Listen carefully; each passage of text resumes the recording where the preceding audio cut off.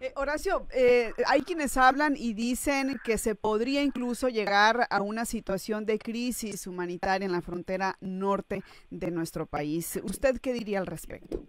Pues mira, nosotros queremos, queremos ser cautos, no podremos hablar todavía de crisis humanitaria, eh, porque cuando hay crisis humanitarias, de acuerdo a las a las convenciones internacionales, estamos hablando de miles de personas que son desplazadas por diversas razones, tanto por guerras, desastres, como ha pasado recientemente, lo hemos visto en Medio Oriente, hacia Europa. Entonces queremos ser cautos, eh, esperemos que no lleguemos a esa situación, eh, porque implicaría la intervención incluso de organismos internacionales. Ahora estamos coordinados con organismos internacionales, queremos que coadyuven con nosotros, pero no me atrevería a decir que este ya es un tema de crisis humanitaria, pero sí es un tema que tiene que atenderse de manera inmediata y esa es nuestra responsabilidad.